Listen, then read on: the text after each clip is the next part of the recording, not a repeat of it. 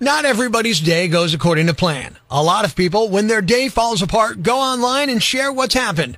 I share their stories with you. Epic fails on Rock 107. Have you heard about the lonesome loser? He's a loser, but he still keeps on trying. I took the bus to work. A sweet old lady got on after and sat next to me. Halfway there, she fell asleep, her head on my shoulder. I gently tried to wake her up before my stop. She wasn't sleeping. I let a dead woman lie on me for 30 minutes. You're already a loser. I texted my college boyfriend to tell him how terrible I felt about cheating. He replied saying he was so relieved because he'd been cheating on me with a girl in his dorm. I was talking about my math test. You are one pathetic loser. Their lack of success makes us feel better about our lives. Epic fails on Rock 107. My friend had to take my cat who has a tumor to be put down when I wasn't home since I couldn't bear to take him myself. I have two cats. He took the wrong one. Loser. Their defeat is our victory. Epic fails on Rock 107. My family got into an argument with me because I bought the wrong kind of cheese.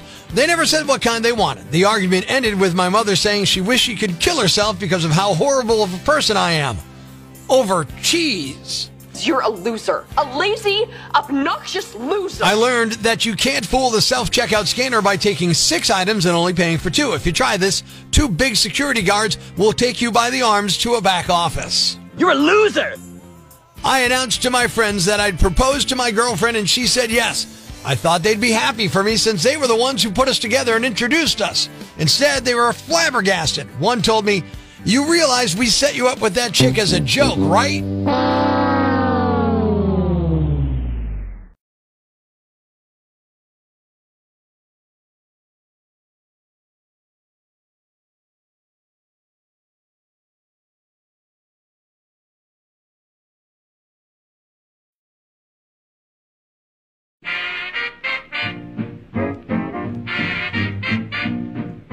Texting and drinking is never a good idea. We've all done it, and we've all regretted it. The drunken texts you forgot you sent.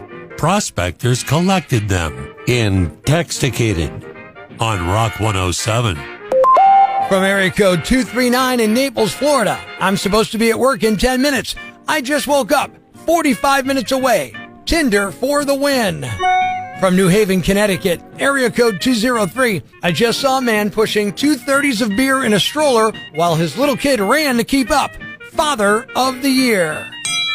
Ocean City, New Jersey, area code 609. I felt like I should have driven him home, but I was holding in a fart and I just needed him to leave. You hit send, and we hit the floor laughing Intexticated on Rock 107. Concord, New Hampshire, area code 603. I'm pretty sure the rest of my evening will consist of drinking tequila and watching children's movies. Hashtag mom life. Birmingham, Alabama, area code 205. I just kept pointing at random people and telling the bartender, put it on their tab. Area code 914, Westchester County, New York. I woke up under a table with a huge sombrero, a box of 120 donuts, and a bloody nose. It all screams success. Hey, we found him in your telephone. In Texticated on Rock 107. From Augusta, Maine, area code 207. I'm going to live freely with my legs opened and my heart closed. Area code 513, Cincinnati, Ohio. I hate the Colts so much, I wouldn't cheer for them if they were playing Al Qaeda. And from area code 612, Minneapolis, Minnesota. You texted me last night that you invented a new food, cheeseless grilled cheese. Congratulations, you made toast. Proof that booze and cell phones don't mix. Intexticated on Rock 107. Another episode of One Minute Inside a Woman's Head. Halloween is on a weeknight this year. That's so strange. I guess I'll be able to watch Dancing with the Stars on Disney Plus. Ah, wait. Trick or treaters will be coming. Can I DVD a stream? Oh, well. Maybe there'll be some hot dads with the trick or treaters. Why do the dads have to stand so far back? It's so hard to see the ring fingers at that distance. I could say, come closer, I don't bite. but that sounds kind of trampy. Remember last year when those teenage boys came to the door dressed as famous YouTubers? Yeah, not a lot of work went into those costumes. But hey, they did tell me I was kinda hot. Wait, why did they have to say kinda hot? And that was another episode of One Minute Inside a Woman's Head.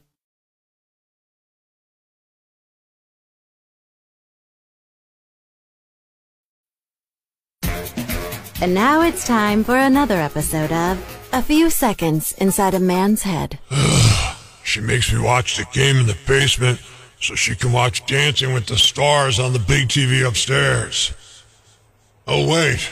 She'll get stuck dealing with the trick or treaters this year. And that was another episode of A Few Seconds Inside a Man's Head. Life's pretty tough right now. There's plenty of bad news, but it's not all bad. It's time for the brighter side of Prospector on Rock 107. A woman in Australia secured grant money to have an AED machine installed at two ferry stops on a river near her home. Those are the machines that can save your life if you have a heart attack. And her husband is glad she did because one of them just saved his life. He had a heart attack while they were waiting for a ferry and he would have died without it. And he'd never had any heart issues prior. Thanks. We needed that. The brighter side of Prospector on Rock 107. You've seen people do this before, and you know it really means, hey, F you. Good morning. I'm Rock 107's Prospector. When stories like this hit the news, it's usually for something small, like a speeding ticket. Not this time. A welding company in Colorado called JMF Enterprises recently was sued by another company called Fired Up Fabrication. They claimed JMF didn't pay them for a job and eventually settled for $23,500. But now they're back in court after JMF tried to pay by sending them over six tons of loose change. Six tons. A flatbed truck showed up at those lawyers' offices with a box full of quarters, dimes, nickels, and pennies, all mixed together. The lawyer described it as a big, well, you know. At first, I thought, you've got to be kidding me. And then we had to go through the logistics. Again, it's showing you pennies, quarters, dimes. In our pleadings, we called it the figurative middle finger. Just to acquire that many took effort. But then to open them all up and dump them into a container, that is not just trying to pay a bill. Right. And that settlement agreement didn't specify how they had to pay. So that lawyer thought, hey, they'll have to accept it. But the other lawyer, as you just heard, refused and instead filed another lawsuit. Now they may have to pay more. JMF claims they were not being malicious or trying to waste anyone's time. Yeah, right. But if the judge disagrees, they'll have to pay an additional $7,000 in attorney's fees.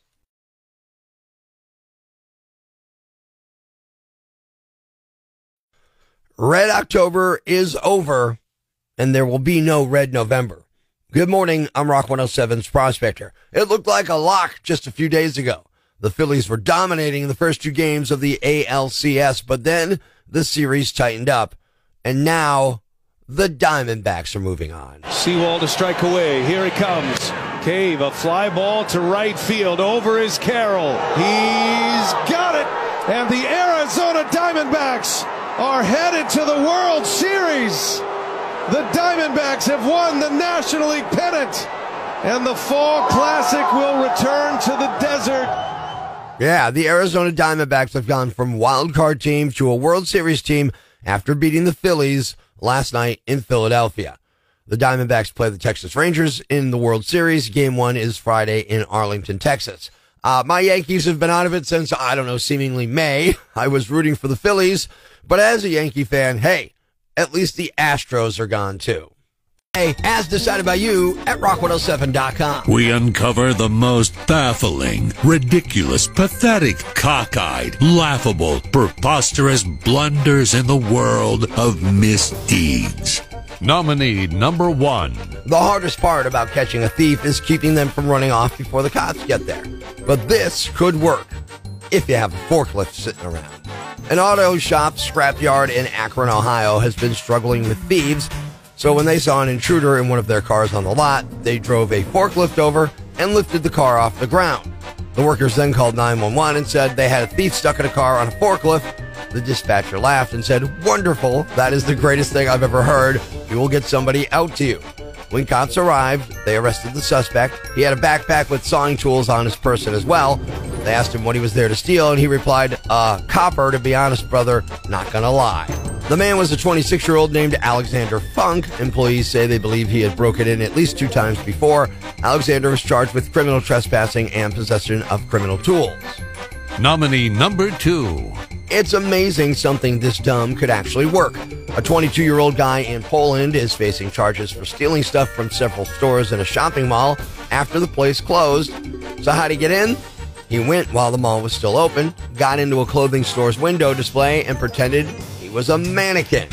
Then, when everyone left, he got out and started doing what he did. There's security camera footage of him standing in the window holding a shopping bag. He doesn't look like other mannequins, but no one noticed. Once everyone was gone, he stopped posing, stole a bunch of stuff from a jewelry stand, and left. And he might have gotten away with it if he'd stopped there. But apparently, he tried it a second time on a different day. And again, no one noticed at first. That time, he went to a restaurant in the mall and had a meal, then got into a clothing store, put on a new outfit. Security spotted him when he went back to the restaurant to eat again. He's facing up to 10 years in prison. And the winner is. The thief who posed as a mannequin and waited for the mall to close. You are the yam bag of the day. And we'll move on to Friday's yam bag of the week competition. Keep it here for all the nominees for Prospector's yam bag of the day, weekday mornings on Rock 107.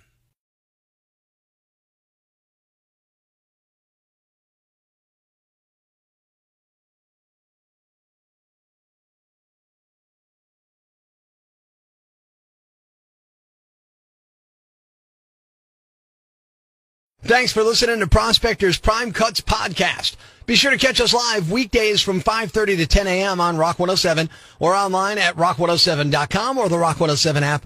A free download for your Android or iPhone. Subscribe to the podcast on Apple Podcasts, Google Podcasts, Spotify, Stitcher Radio, or wherever you get your podcasts so you never miss Prospectors Prime Cuts.